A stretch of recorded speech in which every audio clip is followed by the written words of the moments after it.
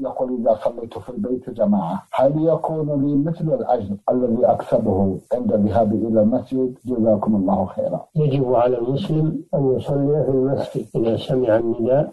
قوله صلى الله عليه وسلم من سمع النداء فلم يجب فلا صلاة له إلا من عذر. قيل للراوي وما العذر؟ قال خوف أو مرض. ولما جاء رجل أعمى إلى النبي صلى الله عليه وسلم استأذنه أن يصلي في بيته لما يلقى من المشقة في طريقه إلى المسجد وليس له قائد. قال له صلى الله عليه وسلم هل تسمع النداء؟ قال نعم. قال فأجب فلا يجوز للإنسان أن يصلي في البيت ولو كان معه جماعة؟ الواجب عليهم جميعا أن يصلوا في المسجد مع المسلمين. والنبي صلى الله عليه وسلم هم أن يحرق بيوت المتخلفين عن صلاة الجماعة عليهم بالنار مع أنه يحتمل أنهم كانوا يصلون في بيوتهم جماعة.